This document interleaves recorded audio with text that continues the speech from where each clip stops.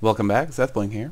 In front of me I've got a block dispenser. It dispenses blocks. In this case the block is TNT.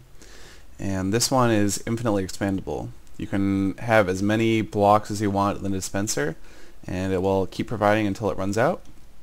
So let me show you.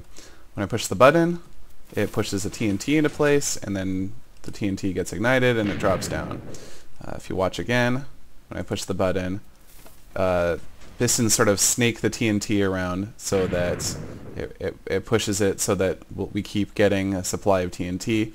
And what allows us to do that is that there's gravel over here that keeps getting pushed into place uh, every time that I push the button. So it kind of fills in the, the snake so that there's always something for each piston to push.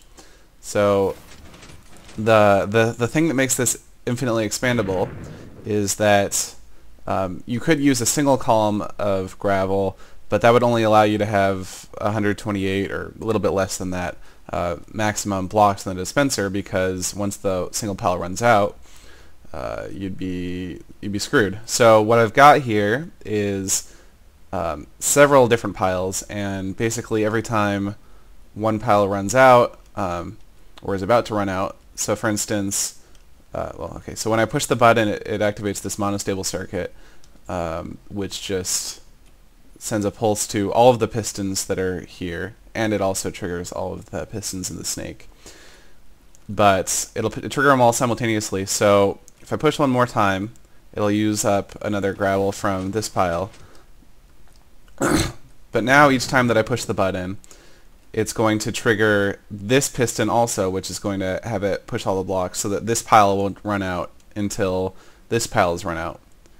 Uh, and then after this pile is run out, uh, this will get one lower and, and this piston will start pushing. So now, notice that they're all equal height when I push the button.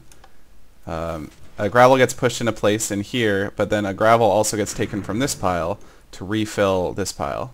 So so so basically, as as long as there's still gravel left in any of these piles, it'll still be able to snake through and provide uh, additional TNT to us. Um, so you could use this for a for a cannon or something, and just because it's kind of a pain to have to reload this every you know every couple times that you use it. So it's kind of a neat way to just have a one-time setup where you can have hundreds or thousands of um, of firings of a TNT cannon. So that's about it. Thanks for watching.